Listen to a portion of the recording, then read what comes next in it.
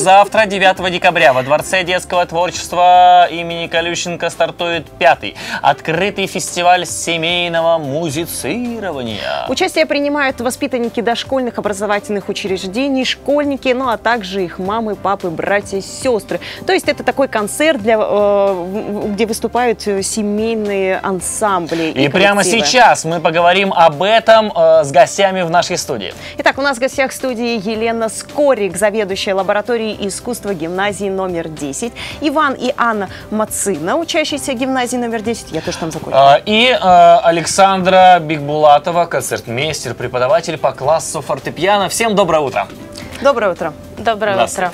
А, итак, э, семейное музицирование, семейные ансамбли. Э, ну, наверное, к вам будем задавать этот вопрос. Как пришла вообще идея такого праздника? Давно да. ли этот проект существует?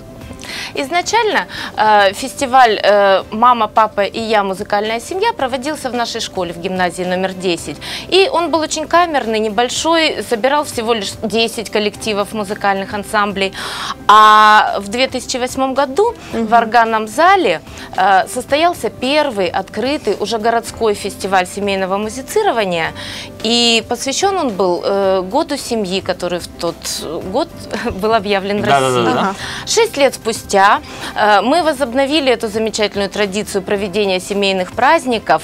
И теперь уже каждый год во Дворце детского творчества имени Колющенко мы проводим наш замечательный фестиваль семейного музицирования. Елена, вы пришли не с пустыми руками. Да. Расскажите, пожалуйста, что это такое? Что это, это подарки, видимо, мы так понимаем. Да. да. За время существования нашего фестиваля у нас появились Э, свои постоянные исполнители, их поклонники, всевозможные традиции. Так мы выпускаем буклеты, э, у нас появилась своя эмблема, угу. своя уникальная, замечательная статуэтка, статуэтка которую да. мы вручаем победителям. На Оскар немножко похоже. Да, в десяти э, номинациях. Вот один вопрос, какие критерии просто выбираете все-таки, по каким критериям?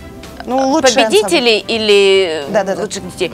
А, ну, конечно, самое главное это любовь к музыке, это э, красивое исполнение этой музыки, это креативное отношение. Разрешите угадаю, вот сейчас прямо э, стоят люди, которые, по всей видимости, любят музыку. Да. Да? А, да, знаете, вот в, в этих случаях надо э, делать следующим образом. Меньше слов, больше дела, дорогие друзья. Э, на нашей сцене э, в студии программы «Наше утро» удивительно талантливые гости, участники фестиваля. Давайте дадим им слово, а лучше время на исполнение потрясающей музыки.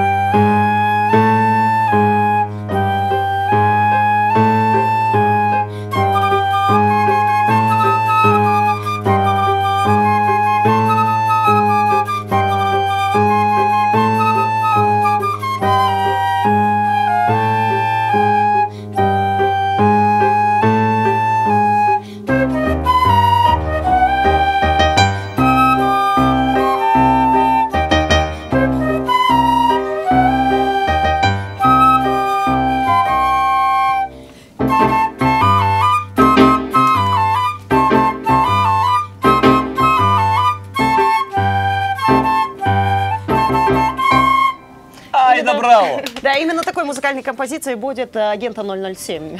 Да-да-да, это будильник этого агента. Э, спасибо вам огромное, друзья. Мы желаем вам победы э, в этом конкурсе обязательно. Ну и напомним, что у нас в гостях сегодня были Елена Скорик, заведующая лабораторией искусства гимназии номер 10, Иван и Анна Мацина, учащиеся гимназии номер 10. И Александра Бекбулатова, концертмейстер, преподаватель по классу фортепиано. Спасибо вам огромное за это настроение утреннее.